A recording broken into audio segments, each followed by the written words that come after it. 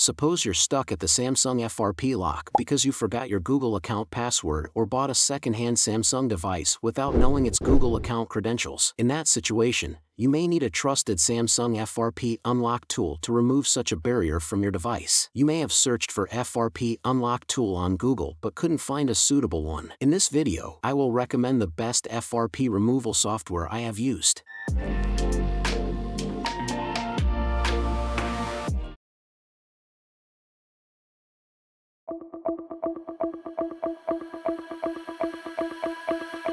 FRP, short for Factory Reset Protection, is a protection lock to prevent someone else from performing a factory reset of your device without your Google account credential. Once someone else tries getting into your device, the FRP lock will pop up to ask him to enter the Google account that was recently used on the device. If you know it, you can unlock and access the device. Otherwise, you'll be stuck at the FRP lock.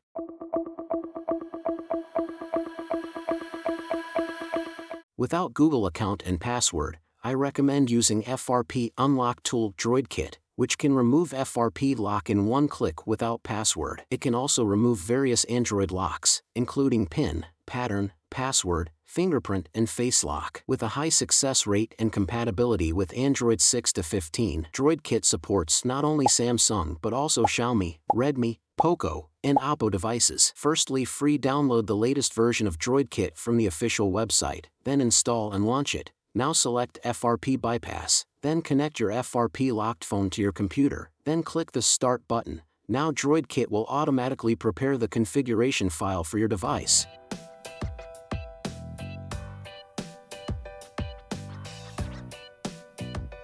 Once ready, click Start to Bypass to proceed, then follow the on-screen instructions to put your device into recovery mode.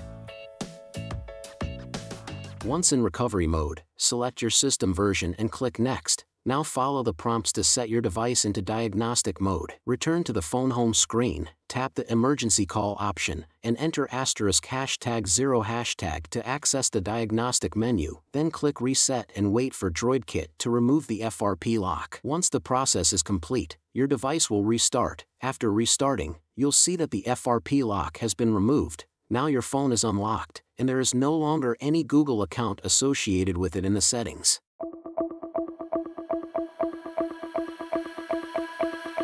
If you don't want to unlock FRP through a computer, you can also consider bypassing or removing FRP through Samsung Reactivation slash FRP Lock Removal Service or FRP Bypass APK tool but the success rate of these methods is not high according to my test. I still recommend using the professional FRP Unlocker DroidKit with the highest success rate to bypass FRP. Thanks for watching if you found this video helpful. Please give it a thumbs up and share it with your friends. Don't forget to subscribe to our channel for more tech tips and tutorials. See you next time.